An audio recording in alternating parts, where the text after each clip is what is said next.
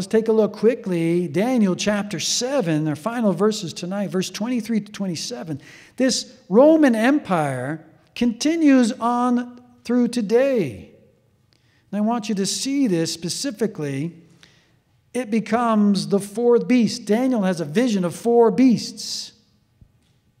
Verse 23, we see he's going to be talking about the fourth beast now. This is the Roman Empire. It's the revived Roman Empire. It comes alive, folks. It's just been laid aside for a short period of time, well, for many years as well, but now it's coming alive, and I think it's going to come alive right after the Ezekiel war.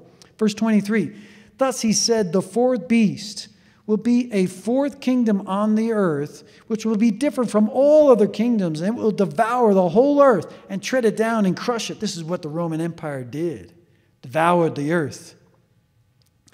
Now, take a look at this very carefully. Verse 24. This is a key in our understanding.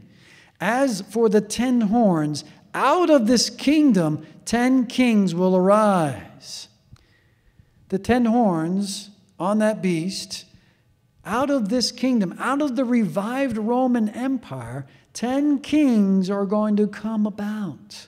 So, what happens, folks? The order is very specific here. First, we have the revived Roman Empire to take over the world, and then out of this kingdom, 10 kings will arise. That means the world is going to be broken up into 10 kingdoms from that revived Roman Empire. So, first, what happens, you know, on that chart, first, what happens is the one world government. Then, sometime after that, it's broken up. The one world is broken up into 10 kingdoms.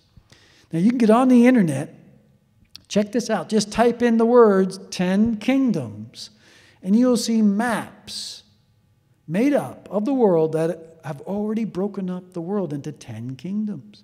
And actually, the UN, a long time ago, many years ago, commissioned an organization to actually break up the world into 10 kingdoms.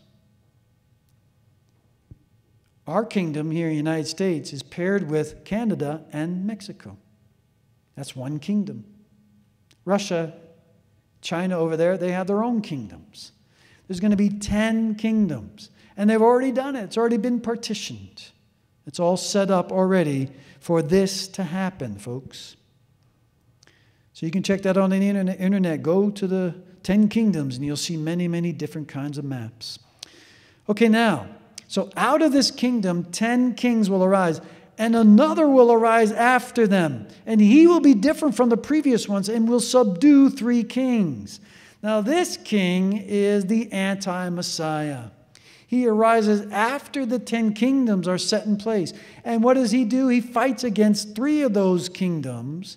This happens in the first half of the tribulation period, and he obviously wins those wars.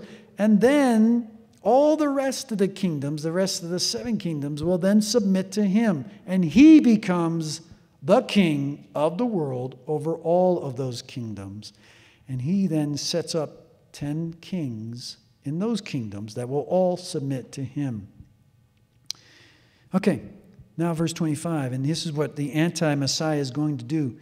And he will speak out against the Most High and wear down the saints or the holy ones of the highest one and he will intend to make alterations in times and in law, and he will be given into his hand for a time, times, and half a time. So, anti Messiah is going to speak out against the Most High God. That's the God of Israel, right? The God of the universe. He's going to wear down the holy ones of the highest one. That means in the second half of the tribulation period, he is going to go after all the Jewish people and try to kill them all. And the Gentile believers as well, and all the Jewish believers as well. He's going to try and kill them all. And he's also going to intend to make alterations in times and in law. At mid trib, he stops the sacrifices, the animal sacrifices in the temple, and they will be given into his hand. The holy ones in that second half of the tribulation period, Jacob's trouble, they're going to be given into his hand. That means he's going to be able to be successful. The Bible says he's going to actually kill two thirds of the Jewish people in the land. And for that time, times, and half a time, that's for three and a half years. That is the second half of the tribulation period. Verse 26 But the court will sit for judgment, and his dominion will be taken away, annihilated, and destroyed forever. So that's the good news at the end of tribulation. He's going to be wiped out himself. Then, finally, verse 27 the sovereignty, the dominion, and the greatness of all the kingdoms under the whole heaven will be given to the people of the saints, or the holy ones of the highest one. His kingdom will be an everlasting kingdom, and all the dominions will serve and obey him. This is talking about Yeshua HaMashiach. This is Jesus. When he comes in the second coming, he wipes out the enemies of the Jewish people, wipes out all the evil ones, the anti Messiah himself, and sets up his kingdom. And he will rule forever. But specifically, he'll rule for a thousand years in that messianic kingdom. Amen. Amen. This is Israel and prophecy, part one, folks. We covered Israel today, what's going on there, and the hatred towards Israel. And that God is working behind the scenes, working to bring Israel back to the land so he can judge and save and then properly restore them back to the land. And he's going to use the anti Messiah and use all those evil people that are going to attack Israel in that time as well. And, and then we'll see the Ezekiel war. in Russia and Iran anytime now, attacking Israel, going into the land, killing many Jewish people, no doubt, but going in for the spoils. And then, after that, I see the one world order coming about. The revived Roman Empire coming back alive, becoming that one world order, and then breaking off into 10 kingdoms. And then after that, we'll see in the tribulation period the anti Messiah warring against three of those nations and then forcing the rest to submit to him because he wants to be the God of this world. He wants to be the God of the universe. He's trying to foil God's plans here for Israel and the Jewish people. That's why he continues to fight and to annihilate and to kill Jewish people for the last thousands and thousands of years. He's trying to foil God's plans for the Jewish people. And if he can foil God's plans, well, then he can say he's greater than God. But we know that's never going to happen, right? Because the Bible says the Jewish people will live on forever. They will never die. They can never be wiped out. And God's going to bless them, bring them into that kingdom, and then for eternity, bless the Jewish people. Amen. Amen. Let's pray. Father, in heaven, we love you, thank you, and praise you, give you the glory and the honor that you so deserve. We thank you for your word, which is your truth, Lord.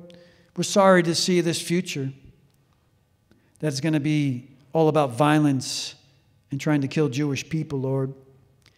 But we're thankful for you, Lord, that you're coming to the Jewish people's defense. And so we pray for the peace of Jerusalem. We pray for you to continue to watch over Israel today. Our prayers can't change what's going to happen in the future, but Lord, we pray that you will help save the Jewish people before these things happen. Help them to see the light of Yeshua. Help them to be saved and help them to get their names written in the book of life.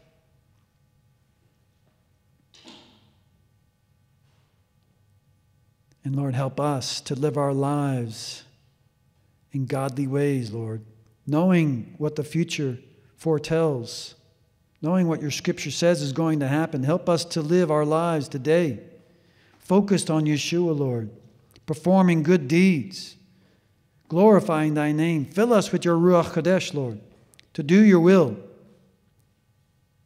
to do it in your power. We don't have a lot of time left, Lord, so help us to spread this good news of Yeshua Jesus to the world, not only to the Jewish people, but to all people, Lord.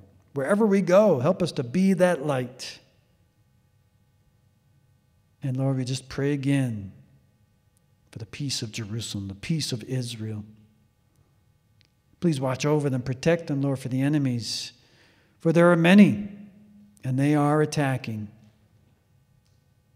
And so we pray you'll foil their plans, Lord. Bring that peace in the mighty name of Yeshua HaMashiach. Jesus, our Messiah, we pray. Amen. Amen. Amen.